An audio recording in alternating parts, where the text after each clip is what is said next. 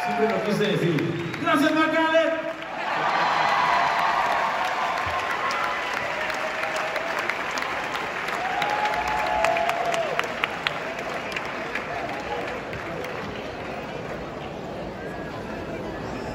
Thank you.